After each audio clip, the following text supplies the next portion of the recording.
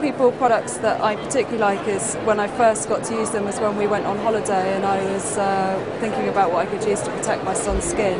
So um, I used the um, the sun lotion, the medium factor, to put on his skin, and um, and then I followed it through with their aftercut after sun which I just thought was absolutely fantastic, and that soothed down any sort of redness that he had, and it seemed to kind of settle him and make him very happy after a day in the sun. So actually, we used it on the whole family, not just him. So we were really happy with it.